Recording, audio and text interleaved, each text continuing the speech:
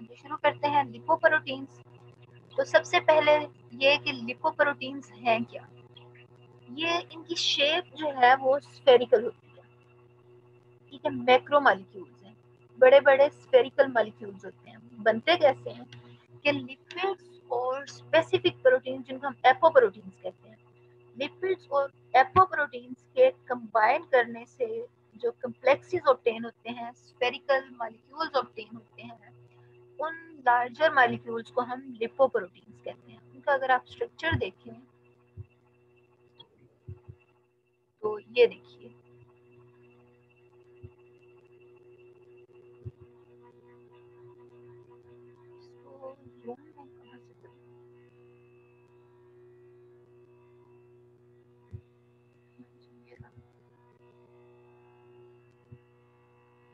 ये देखिए आप इसका structure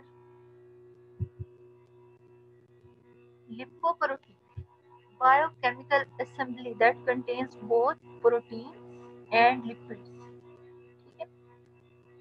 अब इसका मकसद क्या होता है लिपिड्स और प्रोटीन्स के बाइंड करने का? कि ये जो एक असेंबलेज है प्रोटीन्स और लिपिड्स की, ये असेंबलेज जो है, ये फैट्स की मूवमेंट को फैसिलिटेट करती है।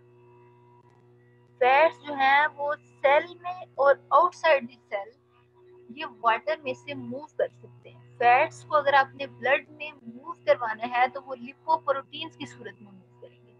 वैसे तो ये ब्लड में मूव ज़ाहिर नहीं कर सकते। अगर आप डायरेक्टली आप कहेंगे आपने फैट्स को ब्लड में से मूव करवाना है ब्लड में मूव करवाएँगे बन तो ये लिवर में रहे होते हैं ना फैट्स ठीक है, फिर लिवर जो है स्टोर ये वहाँ पे हो रहे थे उसके बाद लिवर इनको जहाँ जहाँ पे फैट्स रिक्वायर्ड होते हैं, वहाँ वहाँ पे ट्रांसफ़र करता है। तो ट्रांसफ़र कैसे करेगा? ब्लड के थ्रू ही ट्रांसफ़र करेगा। या अगर कहीं पे एक्सेसिव फैट्स मौजूद हैं तो उन फैट्स को लिवर तक कैसे पहुँचाया जाएगा? ब्लड ही उनको कैरी करेगा ना।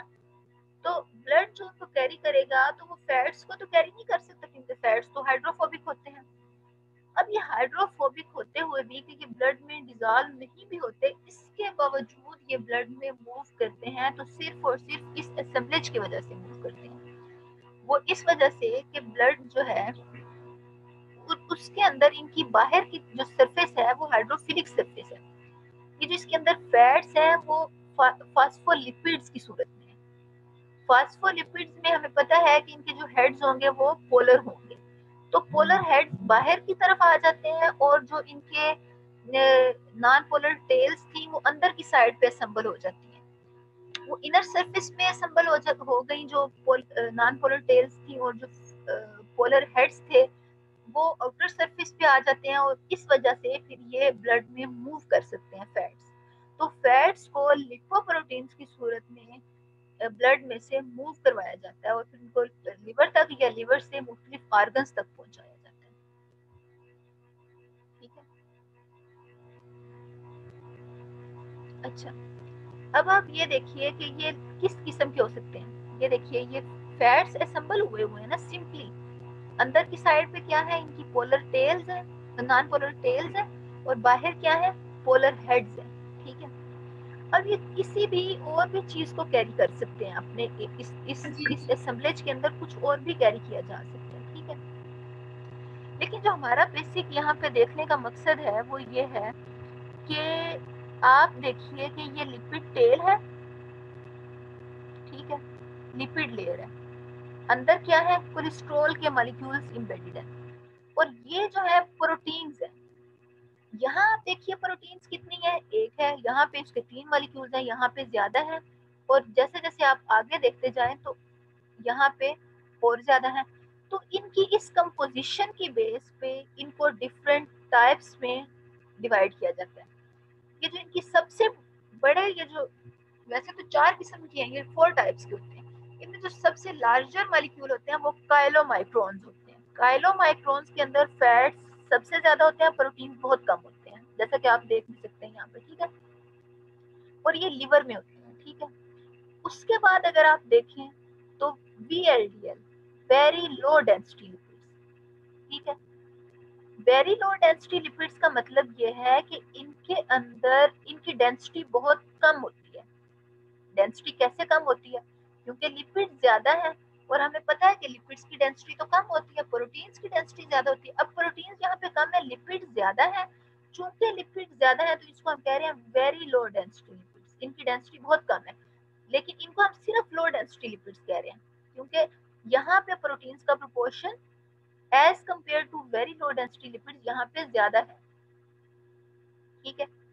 तो इस इस किस्म के लिपिड्स कहाँ पे होते हैं? एडिपोज टिश्यूज में लो डेंसिटी लिपिड्स अच्छा अब जो दूसरे टिश्यूज में होते हैं, वो हाई डेंसिटी लिपिड्स होते हैं। एडिपोज टिश्यूज के अलावा अगर आप देखें ना तो वो हाई डेंसिटी लिपिड्स होते हैं और हाई डेंसिटी लिपिड्स के अंदर प्रोटीन ज़्यादा होती हैं as compared to fats fats भी मौजूद है, लेकिन प्रोटीन ज़्यादा है। अगर फैट्स कम होते जाएँगे प्रोटीन ज़्यादा होते जाएँगे तो डेंसिटी जो है वो ज़्यादा होती जाएगी।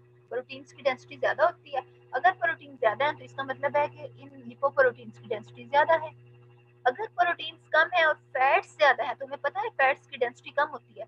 तो अगर आप बाय वेट देखते हैं तो फैट्स चूँकि ज़्यादा है तो इस वजह से इसको हम कहते हैं कि ये लो डेंसिटी लिपिड्स होते हैं, जिनमें फैट्स ज़्यादा होते हैं। और जिनमें फैट्स कम होते हैं, वो फिर हाई डेंसिटी लिपिड्स होंगे, ठीक है? अब यहाँ पे आप देखिए इनकी टाइप्स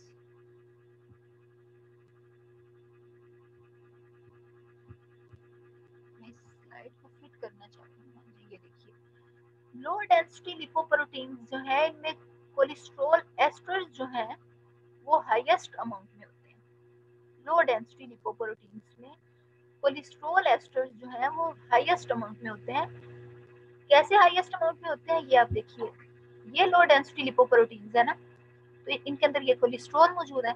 तो हाईएस्ट कैसे हैं? इनके बाहर तो प्रोटीन्स कोलेस्ट्रॉल से ज़्यादा नज़र आ रही हैं, और उसके अलावा फैट्स कोलेस्ट्रॉल से ज़्यादा है।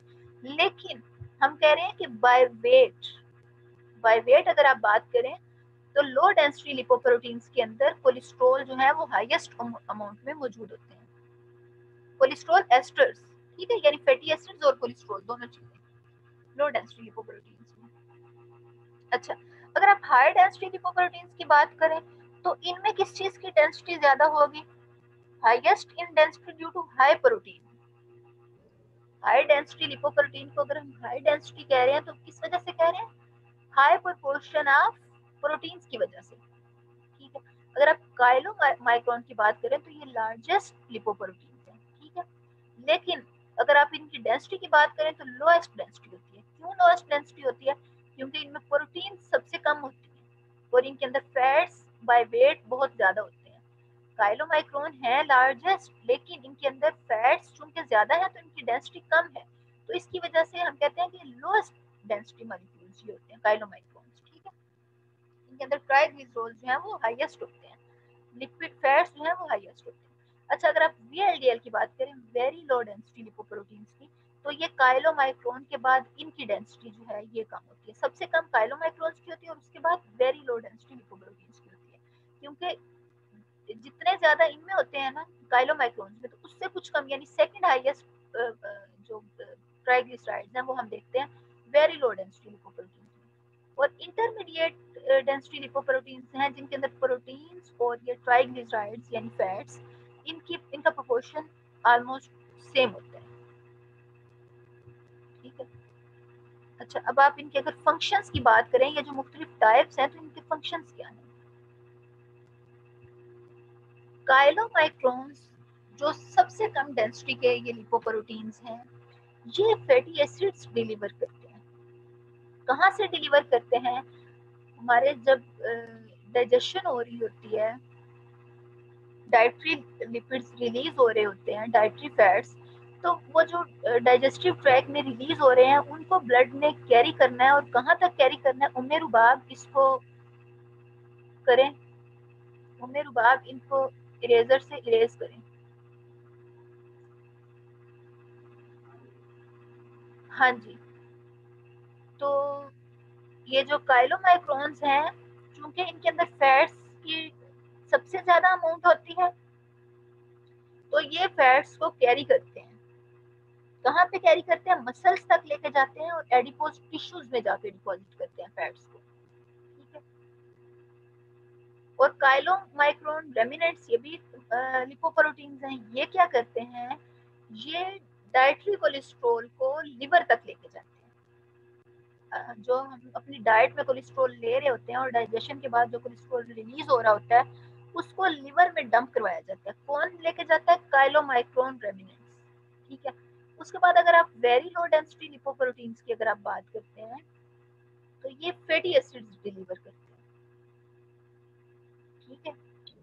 वेरी लो डेंसिटी लिपोप्रोटीन्स क्या करते हैं? फैटी एसिड्स डिलीवर करते हैं। और कहाँ से डिलीवर करते हैं? ये लिवर में जो मौजूद होते हैं फैटी एसिड्स वहाँ से मसल्स और एडिपोज तक लेके जाते हैं। अब मसल्स में हमने डंप तो कर दिए जो सॉरी लिवर में। लिवर में हमने डंप तो कर दिए फैटी एसिड्स लेकिन अगर हमारी बॉडी के किसी और जगह पे हमारे मसल्स को रिक्वायर्ड है फैट्स या हमारे एडिपोज टिश्यूज जो हैं, वहाँ पे हमने उनको डंप करना है तो फिर लिवर से जो कैरी करते हैं लिपोप्रोटीन फैट्स को, उन्हें हम कहते हैं very low density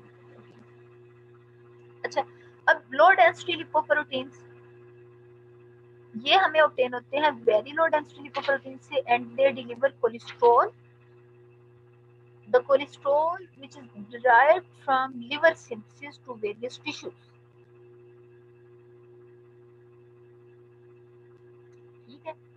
very low density lipoproteins भी और लो डेंसिटी लिपोप्रोटीन्स भी, ये दोनों, इन दोनों का काम सेम है कि ये लिवर से नॉन हिपैटिक टिश्यूज तक पहुंचाते हैं। लिवर लिवर के जो टिश्यूज हैं, उनको हम हिपैटिक टिश्यूज कहते हैं। तो liver synthesis to non hepatic tissue liver के अंदर जो ट्राइसाइक्लिजोल मौजूद है, उनको कहाँ पहुंचाना है?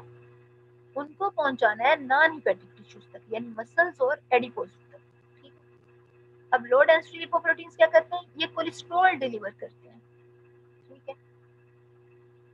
From liver to various tissues low density का काम है कोलेस्ट्रॉल को डिलीवर करना। वेरी लो डेंसिटी लिपोप्रोटीन्स का काम है फैट्स को डिलीवर करना। और काइलो माइक्रोन रेमिनेट्स का काम भी लो डेंसिटी लिपोप्रोटीन्स की तरह कोलेस्ट्रॉल डिलीवर करना ही है, लेकिन काइलो माइक्रोन कोलेस्ट्रॉल डिलीवर कर रहे हैं लिवर को।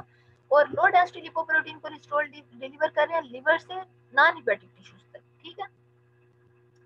अब जो हाई डेंसिटी लिपोप्रोटीन्स हैं हाई डेंसिटी लिपोप्रोटीन जो है, वो कोलेस्ट्रॉल को कलेक्ट करते हैं नॉन हिपैटिक टिश्यूज से।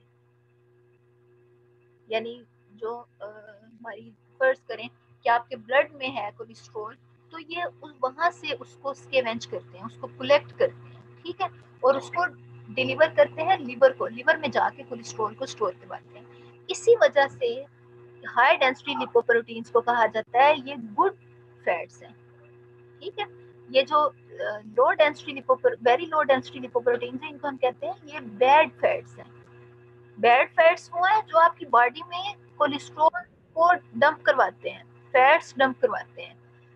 High density lipoprotein good fats वो हैं जो कोलेस्ट्रॉल को बॉडी में से कलेक्ट करके लिवर में डंप करवाते हैं। अगर हमारे ब्लड में लिवर ट्रेवल कर रहा है तो आपको सॉरी कोलेस्ट्रॉल ट्रेवल कर रहा है तो आपको पता है कि वो कोलेस्ट्रॉल जो है, वो उन आर्टरीज के साथ चिपक भी ये जो फैट्स है, ये जो चिकनाई है कोलेस्ट्रॉल की फॉर्म में, ये हमारी ब्लड कैपिलरीज के अंदर जम भी सकता है।